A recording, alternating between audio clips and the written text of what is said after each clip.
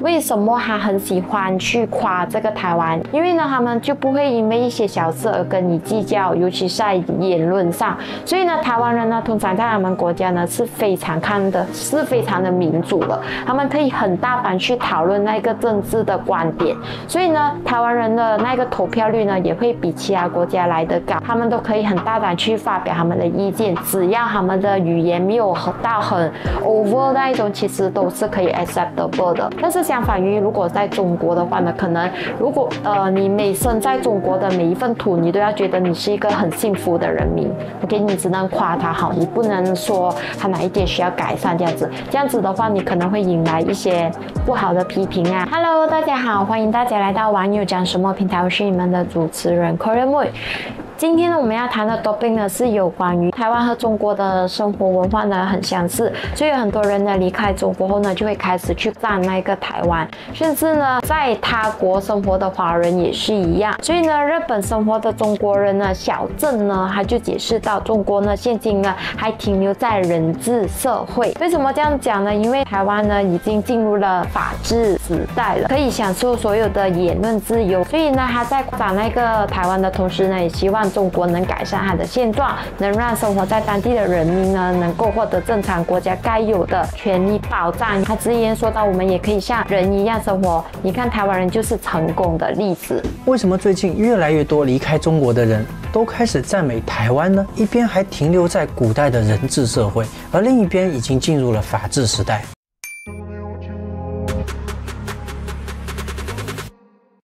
OK，他第一点就有说到。为什么他很喜欢去夸这个台湾？因为呢，他们就不会因为一些小事而跟你计较，尤其在言论上。所以呢，台湾人呢，通常在他们国家呢是非常看的，是非常的民主的。他们可以很大胆去讨论那个政治的观点。所以呢，台湾人的那个投票率呢也会比其他国家来得高。他们都可以很大胆去发表他们的意见，只要他们的语言没有到很 over 那一种，其实都是可以 acceptable 的。但是。相反于如果在中国的话呢，可能如果呃你每生在中国的每一份土，你都要觉得你是一个很幸福的人民。OK，你只能夸他好，你不能说他哪一点需要改善这样子。这样子的话，你可能会引来一些不好的批评啊，或者甚至会遭到，如果你拍影片的话，可能会遭到红灯之类的。然后呢，小郑 YouTube 呢之前也是有呃说过，他之前。也有遭受过这样子的对待啦，因为他是一个 YouTuber。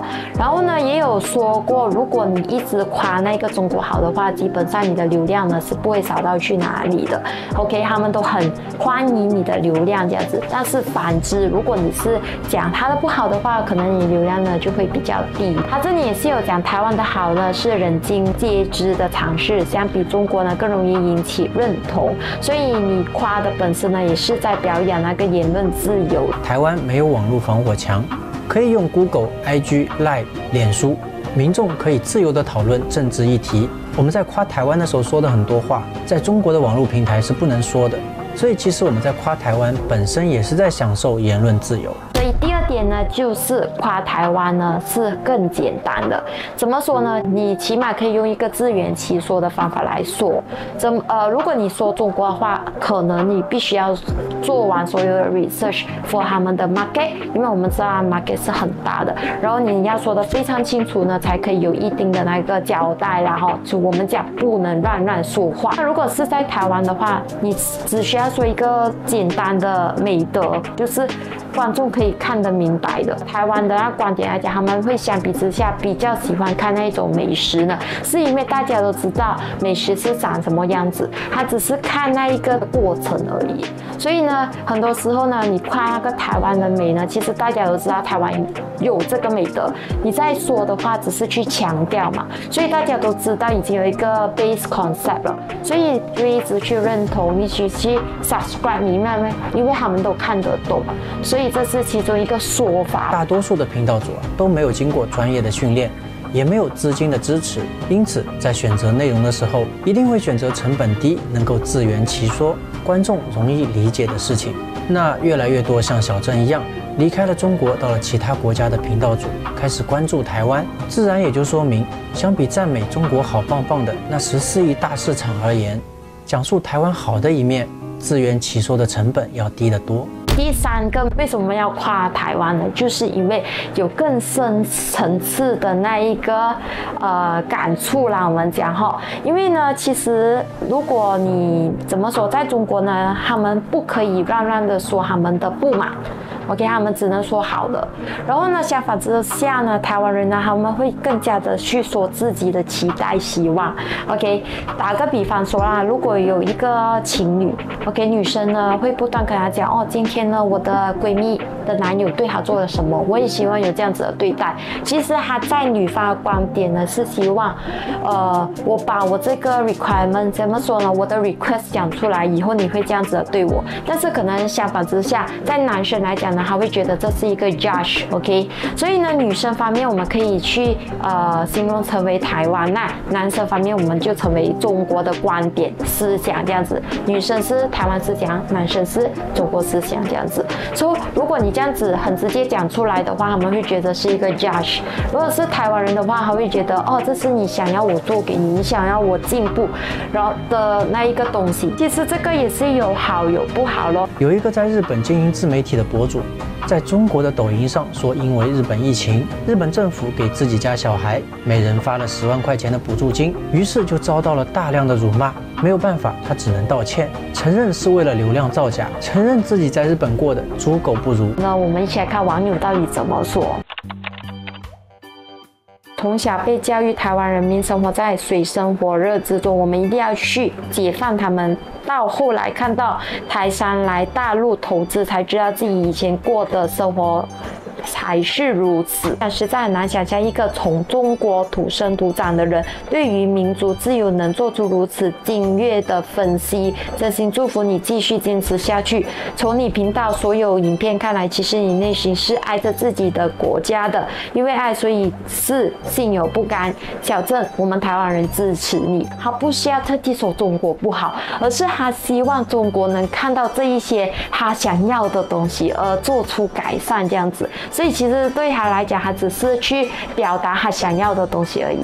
绝对不是一个家事。我们也可以像一人一样生活。你看台湾人就是成功的例子。身为台湾人听了感觉挺复杂又沉重。希望世上每个每一个人总有一天都能拥有免于恐惧的自由，都能拥有无所顾忌的自在。希望大家人都可以活得自由自在，好像台湾人一样的自由啦。真的为了流量的话去夸赞中国好，不是更快还能赢得？一片掌声，非常支持小郑，也很感谢你的善良和勇气，这才是真正爱国的精神，而不是某些人就嘴上爱国这样子。